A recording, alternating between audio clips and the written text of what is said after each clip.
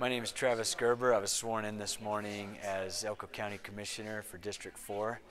I am filling the seat of Cliff Eklund, who termed out of this seat, and I'm, I'm, grateful for this opportunity to serve Elko County. I've got deep roots here, and I have big boots to fill with Cliff leaving, and also my father uh, was a county commissioner and sat in this very seat in 2014 until his death, and so I honor him and will carry on his legacy. I love Elko County. I love what Nevada and Elko County stand for, for our heritage of pioneers and ranchers, for our great industry in mining and all the technical jobs that that brings to our area, uh, great educational opportunities at Great Basin College, the recreational opportunities in this county for hunting, fishing.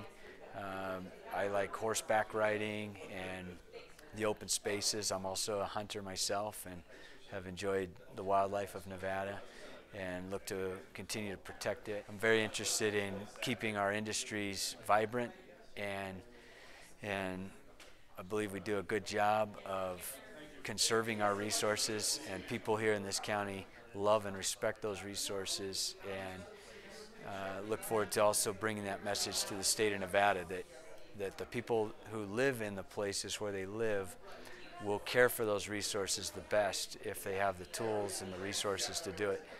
I uh, just returned from Mexico on a vacation. I'm glad to be back in the United States. Uh, the vacation was wonderful, and it brought home to me more than ever the great blessings that we have through the Constitution of the United States, through the rule of law, that we have a clean and organized and and prosperous country because everybody pulls together and respects the laws.